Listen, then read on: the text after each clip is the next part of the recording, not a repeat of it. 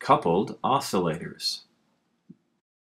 Two pendulums of equal length are connected by a soft spring comprising a coupled two degree of freedom system. Such a two degree of freedom system has two natural modes of vibration. In the first mode, shown here, the two masses move in the same direction at the same time and the coupling spring is neither stretched nor compressed.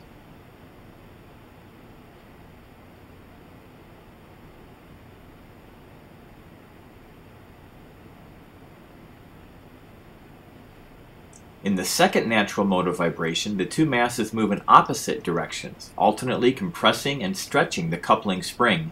The center of the spring is a node and does not move at all.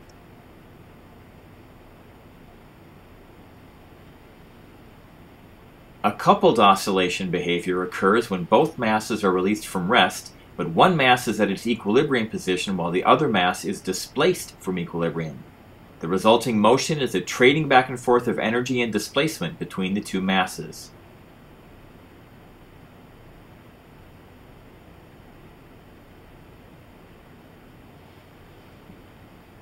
Here's a close-up view of the first natural mode of oscillation.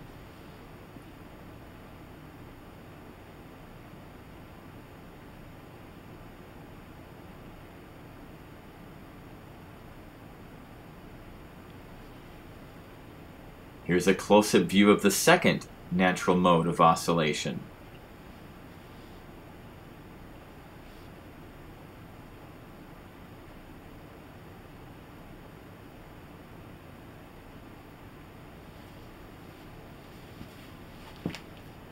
Here's a close-up view of the coupled oscillation, with the amplitude and the energy trading back and forth between the two masses.